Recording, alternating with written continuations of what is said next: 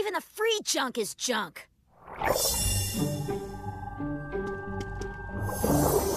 I don't know who you are, but you are a riot. Uh, no, I excel at functions such as these. Didn't you see how impressed everyone was when I faked my death?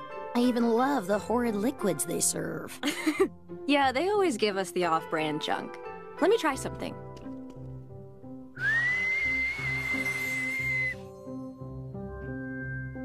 Don't worry, I didn't spit in it. Whoa!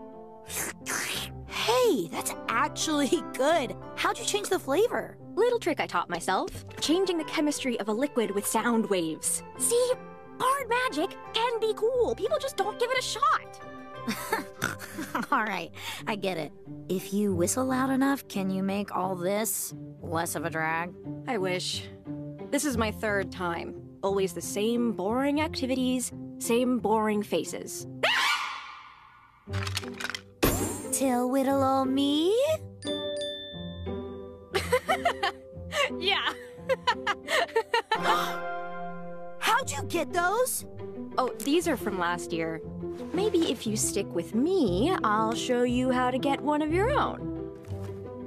All right, I'm Eda Clawthorne. Raine Whispers.